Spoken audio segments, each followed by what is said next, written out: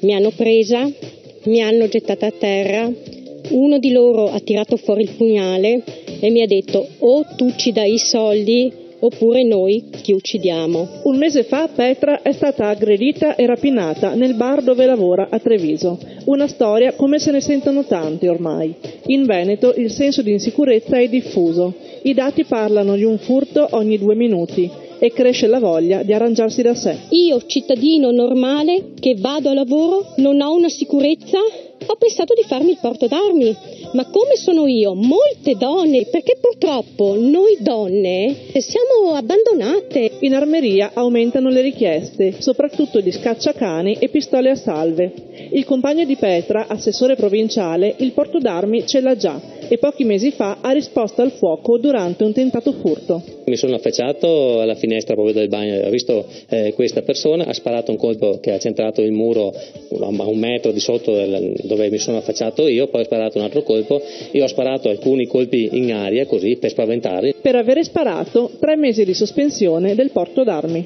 Uno si difende come può, è lo spirito di autodifesa di chiunque. Io non sono per il far west, sono per il rispetto eh, delle leggi, ci vuole maggior tutela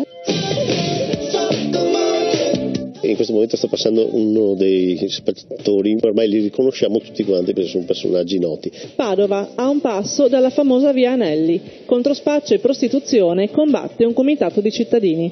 Alle forze dell'ordine non possono fare tutto, se vogliamo che le nostre città, i nostri quartieri vivano bene dobbiamo contribuire noi segnalando e continuando a dare indicazioni. Così fanno i gruppi spontanei di controllo del vicinato, nati un po' in tutto il Veneto, cittadini che diventano sentinelle. A Treviso il comune li ha arruolati, per così dire, per monitorare il territorio. Crediamo nella compartecipazione dei cittadini, questo è l'unico modo per avere tra l'altro un territorio eh, monitorato 24 ore su 24.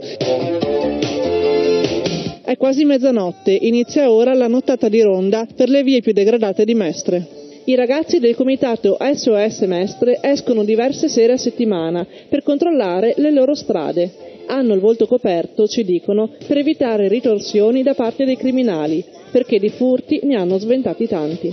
Sono dei ragazzi molto giovani, credono di poter pulire tra virgolette la città, ripulire da, da tanto degrado. Ci siamo prefissati eh, una regola che è quella appunto di mai sostituirsi alle forze dell'ordine e, e controllare solo la città, la nostra città.